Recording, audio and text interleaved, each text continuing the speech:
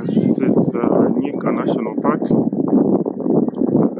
it's found in Malawi, in the northern part of Malawi, in, in three districts of um, uh, Chitipa, Karonga, and Rumpi. And it's over 3,000 square kilometers. And here we are, we are right on top of uh, uh, Nyika National Park. It's, it's a beautiful park.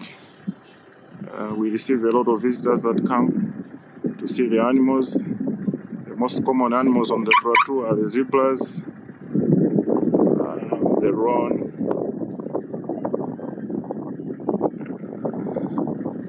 and um, the one, the notable ones are, are leopard. These are the animals when you come to Nyika, you're not going to miss them.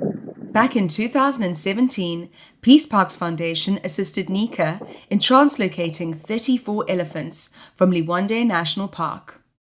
This was a great start to the dream of returning to a time when over 300 elephant graced these hills. Elephant play an important part in opening overgrown vegetation and ensuring a diversity of animals that is vital to a flourishing ecosystem.